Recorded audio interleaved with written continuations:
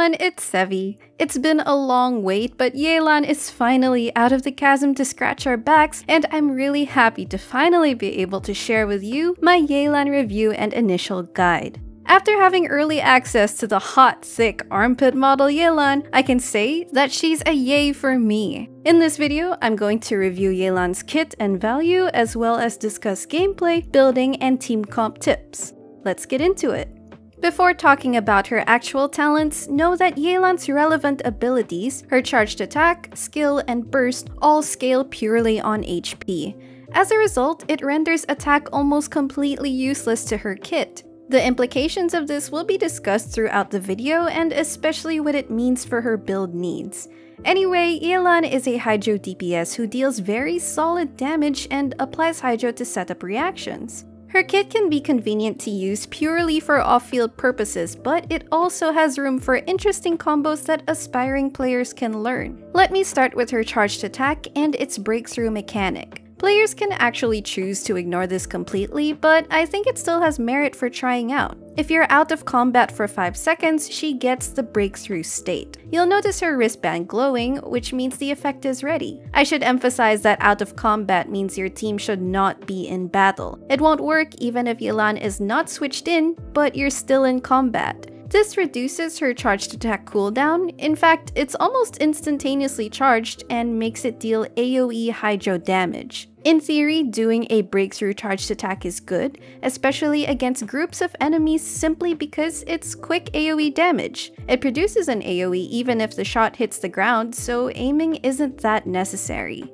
You have to level up her normal attack talent to increase its damage, and that's resources spent for a talent that has a somewhat niche purpose. But it's something you can eventually do to cover all bases of her kit, and it'll also be helpful if she's your on-field driver. Basically, use and level this up only if you want to maximize her entire kit rotation. Otherwise, feel free to just ignore it and focus on her skill and burst. Next, how does her skill work? Passing through enemies while it's triggered marks them. Either you press it for instant damage or hold it to move around quickly and mark more enemies to damage. This can be quite helpful for battlefield mobility. When you use the hold version, you also get resistance to interruption, but of course you're still taking damage and reactions still affect you like getting frozen. All enemies marked will simultaneously take Hydro damage when triggered and you'll generate 4 Hydro particles. But note that the Hydro only applies when it's activated, not when you apply the mark, so this actually can be set up for Vaporize reactions. I find it actually deals good damage, although because it scales on HP, attack buffs will do nothing to improve it. It also has one more mechanic where each enemy marked will give a 34% chance to reset her breakthrough state if it's on cooldown. So you can charge attack right after using her skill while you're waiting to catch the hydro particles it generates. Finally, her burst has a 70 energy cost. Activating it deals an instance of AoE Hydro damage, and you summon a dice that deals coordinated attacks every second with the active character's normal attacks. It fires 3 projectiles at a time to deal damage and apply Hydro. It can also proc if you trigger her skill damage. Essentially, it's very similar to Xingqiu's burst. This is where Yelan's main damage source and Hydro application utility comes from, making it the most important part of her kit. Prioritize the burst talent for leveling up. Follow with a skill level, then level up her normal attack talent depending on your usage. Mentioning her passive talents, the first one gives her additional HP depending on how many different elements are in the team. In effect, this improves her damage and tankiness. The second is a nice buff wherein if your burst is ongoing, then the active character will get an increase in damage every second until the burst ends. This gives Yelan a nice added damage buffing utility. Alright, now that you're familiar with her kit, it's hard not to compare her with Xingqiu. If you expected to finally have another Xingqiu type character, then it is pretty close. Which is actually a good thing, mainly because Xingqiu has always been such a reliable and in-demand Hydro character. Most notably, if you've always wanted to have two Xingqius to put on both Spiral Abyss sides, then here's a way to finally do so. While she has her own things that separate her from Xingqiu, she's also lacking some things that Xingqiu does. First, Xingqiu potentially has more Hydro application versus Yelan, particularly in melee combat. This is because Xingqiu has both Burst and the Rain Swords applying Hydro, which are two sources, while Yelan only has her Burst as her off-field Hydro application. Next, Yelan has no team survival utility compared to Xingqiu who adds resistance to interruption and healing to your team. Yelan does have high HP, so in a sense she can act as a tank. However, Yelan has easily higher damage potential than Xingqiu, which I guess is the trade-off for not having those support utilities. More so, she's a better on-field driver than Xingqiu due to her fast attacks and very tanky nature. They have very similar functions, so when deciding which one will fit a specific team you want, just weigh their separate pros and cons. Let's quickly take a look at Yelan's constellations, but a quick disclaimer that I didn't get to try these out for myself, so this is a theoretical analysis of what they add to her kit. C1 gives Yelan's skill an additional charge. This can be useful in quickly inserting an extra press skill for some fast additional particle generation. C2 gives Yelan's burst an additional hydro hit every 1.8 seconds. What this potentially adds is another source of hydro for your pyro characters to reverse vape on as long as it doesn't share ICD with Yelan's other burst hits. C3 gives her burst 3 extra levels which is a good damage bump. C4 adds HP percent to all your party members based on how many enemies Yelan marks with her lifeline at a maximum of 40% HP, and as long as you use Yelan's skill at least once in a rotation, it should have a 100% uptime. This will help teammates' survivability and any HP scaling utility they may have, but it will also buff Yelan's own damage significantly. C5 is another damage bump, giving 3 talent levels to her skill. And then C6 allows Yelan to quickly fire breakthrough arrows without charging them. She'll only be able to do this during her bursts and is limited to 5 arrows within 20 seconds, but it essentially gives Yelan some small on-field nukes. This is probably the sort of thing you could use for speedrunning battles with big forward vapes. Now let's move on to building her.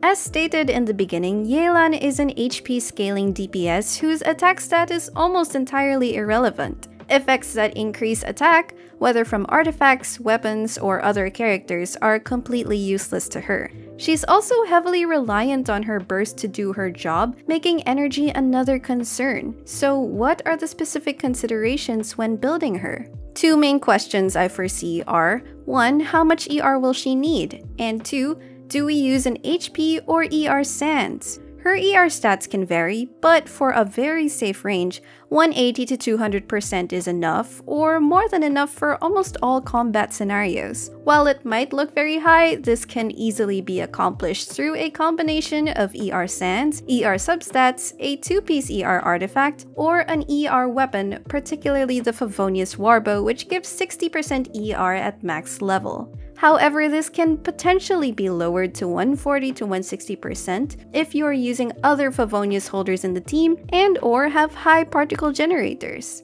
I highly recommend using an ER Sands if you can't meet the ER target due to lacking substats or not using an ER weapon. However, if you have enough ER from substat and weapon sources, then you could instead use an HP Sands. Tweak it according to your experience and needs. Essentially, much of her offensive and team utility is in her burst, so ensure first that you can get it up consistently.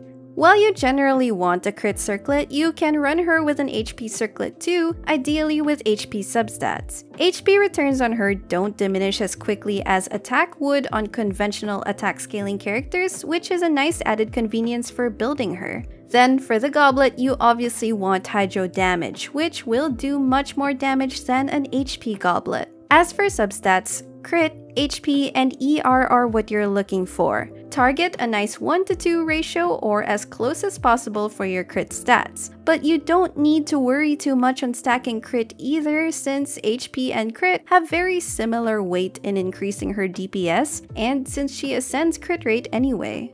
Artifact sets are also pretty straightforward. Her top two artifact sets are the 4-piece emblem, which gives her best personal damage and helps a lot in addressing ER needs, and the 4-piece noblesse, which is best for improving team damage, though take note that the 4-piece attack buff has no benefit on her. Then you have two-piece combos of Tenacity, Emblem, Noblesse, Heart of Depth for budget options if you don't want to or haven't finished farming for a complete set. Then it's worth mentioning that 4-star sets like Instructor for the EM buff or Exile for the added energy quality of life are also viable options, but you'll eventually want to upgrade to 5-star artifacts to better increase her own personal damage.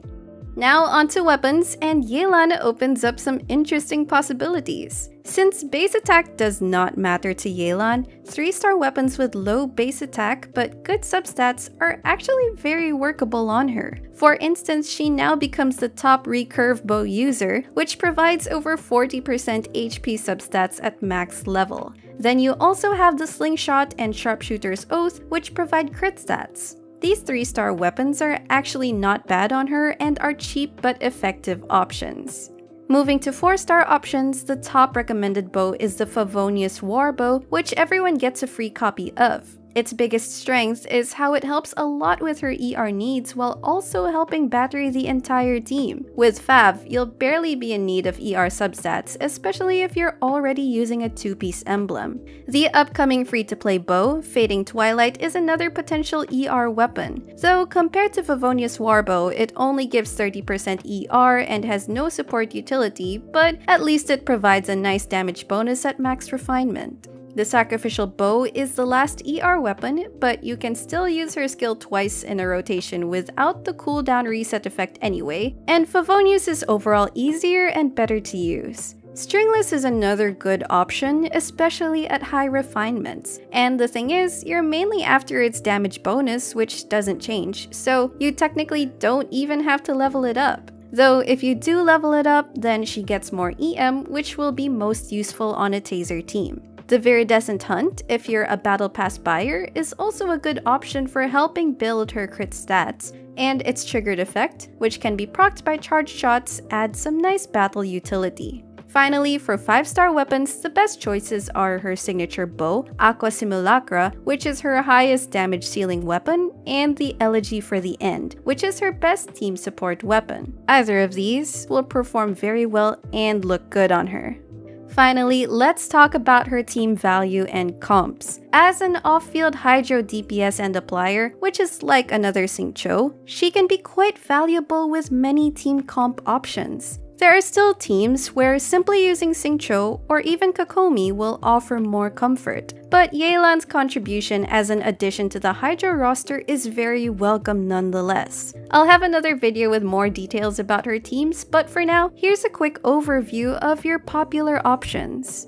Paired with a Pyro character, Yelan will enable them to do reverse vapes, making her another good addition to vape teams. Though one caveat I noticed is that, in comparison to Xingqiu, who has more Hydro application in close range, there's some risk that your Pyro DPS will overtake Yelan's Hydro application if they apply Pyro too much or if other elements react with the Hydro aura.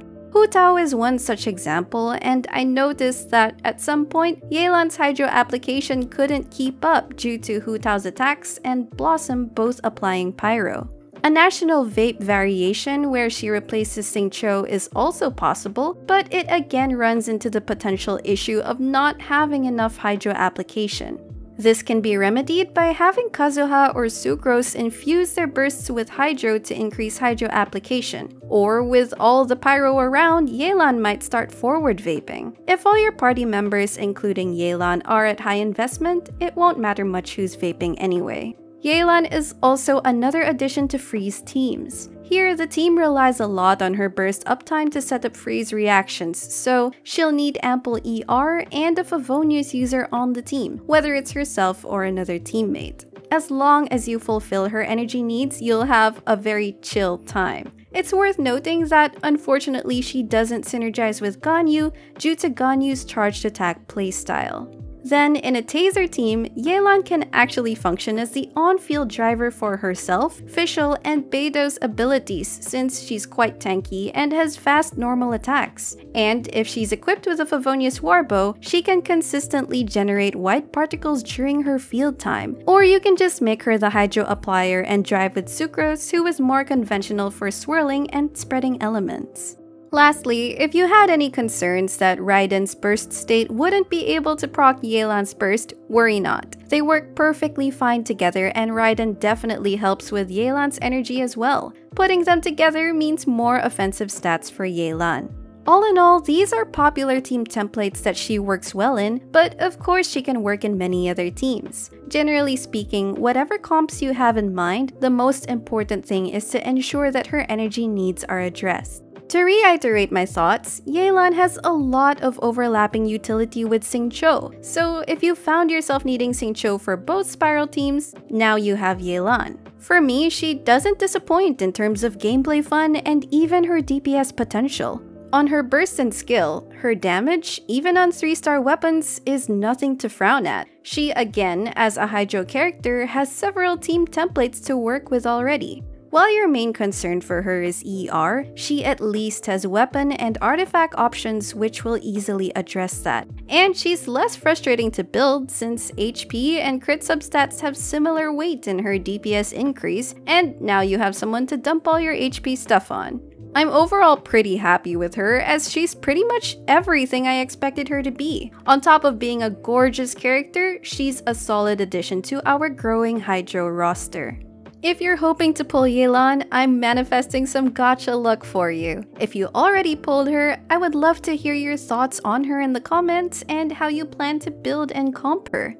If you enjoyed this video, don't forget to leave a like, consider subscribing to my channel for more Genshin Impact guides and content, and I will see you all soon.